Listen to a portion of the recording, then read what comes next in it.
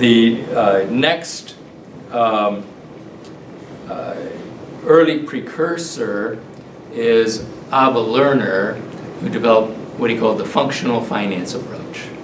And he counterposed this to the sound finance approach. The sound finance approach basically sees the government budget as being similar to a household budget.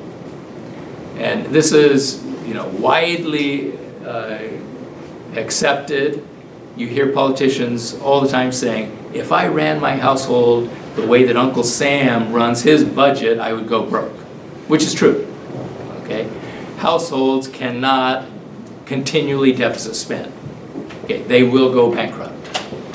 Um, Lerner said, but this doesn't apply to a sovereign government that issues its own currency. It cannot go bankrupt. And in fact, it should not run its budget the way a household runs its budget because its interest is the public interest. Okay? And balancing the budget, the government budget, has no obvious public purpose to it. Okay? The, the government can and should um, run its budget differently. Okay? And this is what he means by it should be a functional finance approach. Try to pursue the public interest. Well, what's the public interest?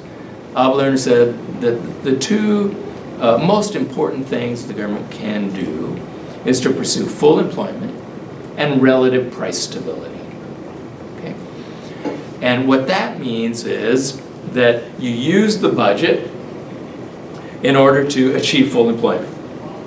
If there's unemployment, either taxes are too high or spending is too low. So you need to adjust those. You need to increase spending um, and reduce taxes in order to move the economy to full employment. Of course, if spending is too high and taxes are too low, you go beyond full employment, you get inflation.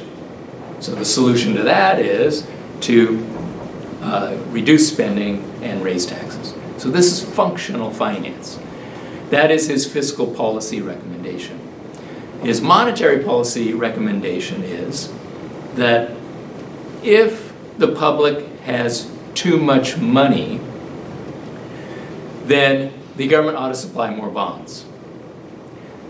If the public doesn't have enough money, the government ought to supply fewer bonds.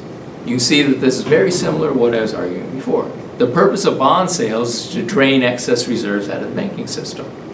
Okay, the purpose of bond purchases is to put reserves into the banking system.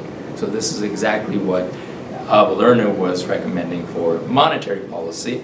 In other words, you want to hit an interest rate target and you make sure that the banking system has the right amount of reserves.